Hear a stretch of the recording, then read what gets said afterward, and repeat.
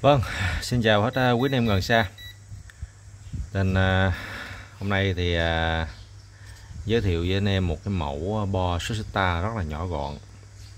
Susita, bo này à, mình lắp relay 24V nên là anh em chạy 24V nha. Còn à, anh em cần 12V này thì vẫn có. Đây. Thì bo này kích thước nó rất là nhỏ gọn. Nó kích thước nó là chiều này là 115 mm chiều này là chỉ có 40 mm thôi nghĩa là 4 cm còn đây là chiều đây là 1 phần 1 chiều đây phần 1 chiều đây là 4 cm là à, nho gọn.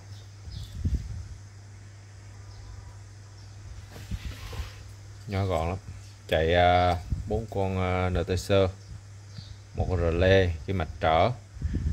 À, thì cái mạch này nó lắp cũng đơn giản lắm thì anh em cấp nguồn 12 hoặc 24 là tùy thuộc vào relay nếu mà anh em chạy cái relay à, 12V thì cấp nguồn 12V chạy nguồn 24V thì cấp nguồn 24V như ở đây cái relay 12V thì cấp 12V đừng có quan tâm tới cái cái 12V chỗ đây gì cái đúng cộng trừ được rồi.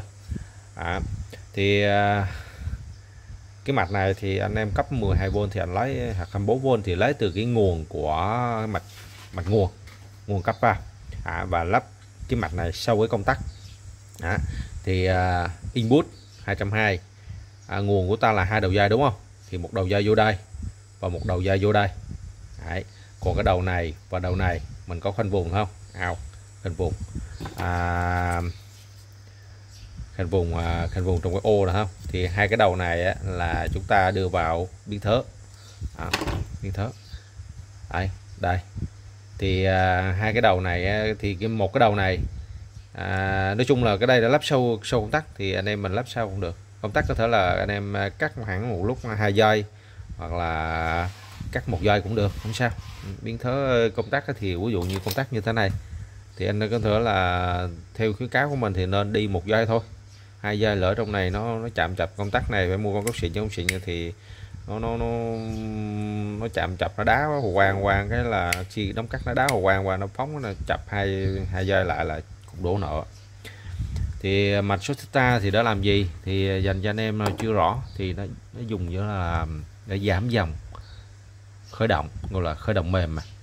Thì khi mà ta đóng công tắc một cái đặc biệt là đối với những cái âm ly công suất lớn và miễn thớ lớn á, thì cái dòng mà từ hóa loại thép tức là từ lúc từng không cho lúc đỉnh rồi nạp điện vào tụ à, thì cái dòng đấy nó rất là lớn. Thì nếu ta không có cái mạch này thì cái thiết bị của ta là dở bị hư hỏng nhất là cái công tắc. Và thứ hai nữa là dẫn đến là khi mà nó xung điện một cách đột ngột như thế thì có thể là cháy biến thớ nè à, hư những cái linh kiện mạch công suất hoặc là tụ tiết gì đó gì nó cái đạp xung nó nó nó dao động lên nó rất là lớn xung định á thì nó rất là nguy hiểm. Thì ở đây mình có lắp ừ, bốn con NTC à, đây là con điện trở nhiệt. Con này là con này 15 A và nó là 15 ohm. Thì bốn con thành 60 ohm. À, 60 ohm. Thì khi mới ban đầu vào á, thì nhờ cái mạch trở này thì dòng điện nó sẽ đi qua nghĩa là nó sẽ mắc nối tiếp cái này cái bo này với cái biến thớ. À, mắc nối tiếp bốn cái con này với biến thớ. Thì khi khi mà về biến bốn mắc nối tiếp như thế thì cái dòng điện nạp vào nó sẽ giảm lại. À, nó giảm lại được một ít và nó sẽ tránh hư hỏng cái thiết bị của mình. Và sau một thời gian chỉnh định thì à, chỉnh định thì do con tụ này.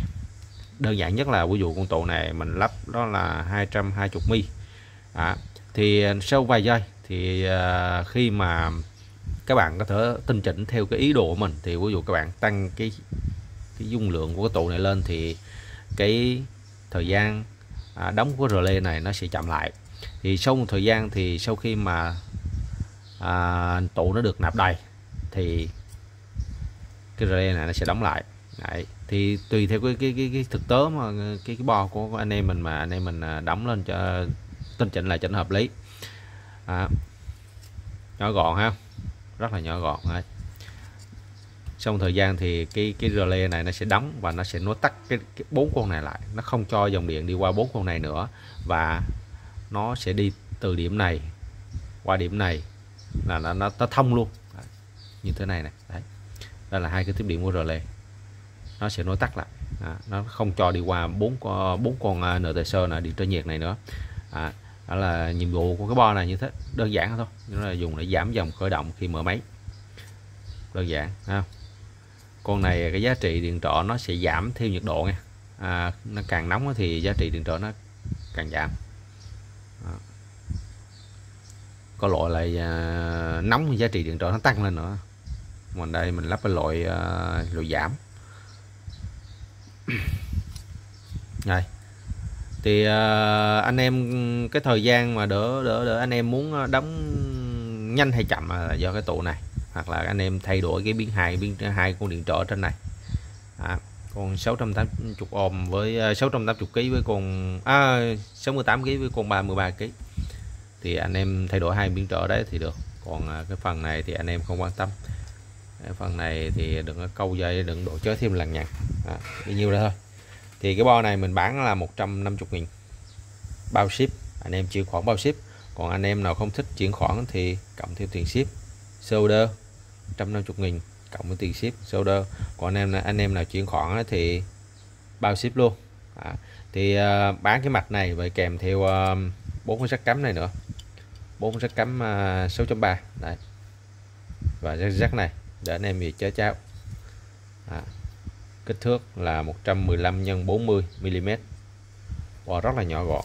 À, 150k nha. Anh em nào à, cần thì liên hệ điện áp thì có mình có hai loại một loại 12 một loại 24 anh em còn loại nào thì nhắn. Rồi, rồi thân chào quý anh em